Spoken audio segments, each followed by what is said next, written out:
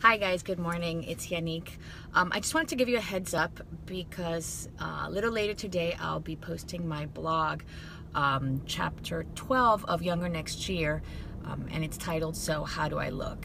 And you know, it's funny because um, when I started um, reading this chapter, I found it a little bit funny because this book is mainly targeted towards people who are entering the third stage of life um, which is, you know, as we're getting to our 40s, 50s, and beyond.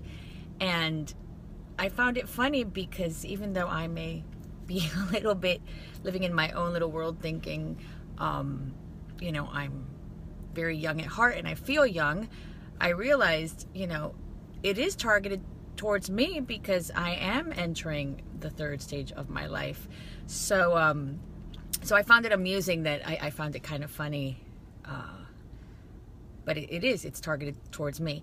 But it's a very interesting chapter nonetheless because the fact of the matter is aging is unavoidable. There's nothing we can do to stop it.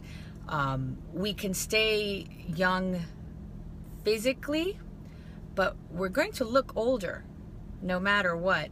Um, you know, our skin is going to get older and drier and you know, we're going to get some lines and we're going to get some wrinkles. Our hair is going to change. Everything's going to change. But there's nothing wrong with that. There's nothing bad about that. And I think that when we come to accept that, it makes it easier and actually we're happier um, all around.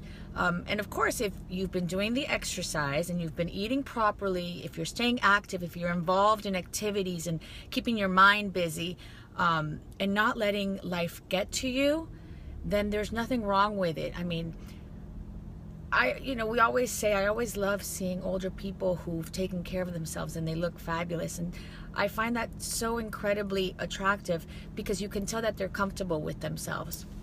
But my blog, um, you know, based on the book, goes more into details about our skin and, and one thing that's very important and this is regardless of age and regardless of whether you're a woman whether you're a man whether you're five years old or you're 80 years old you need to use sunscreen.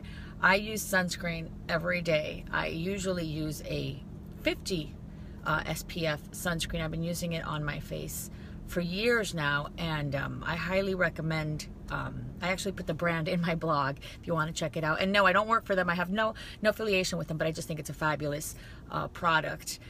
But um, sunscreen is crucial. But check out my blog because there's a lot more tips. Um, you know, and just accept it. We're getting older, but you know, there's nothing wrong with it. So let's just enjoy it.